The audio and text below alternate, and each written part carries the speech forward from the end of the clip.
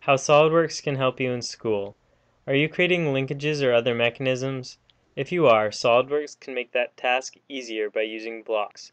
Blocks allow you to freeze a group of entities so that they can be moved as one. It also allows you to create movable assembly components from sketches.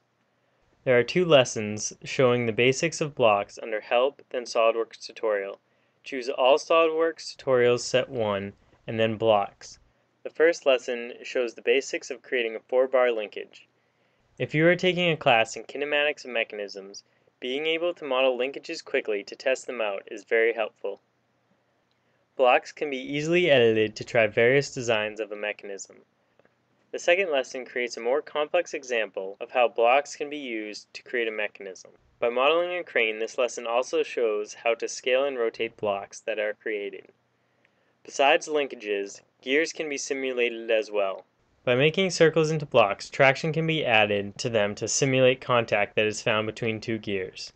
This is done by selecting both circles and adding a traction relationship between the blocks.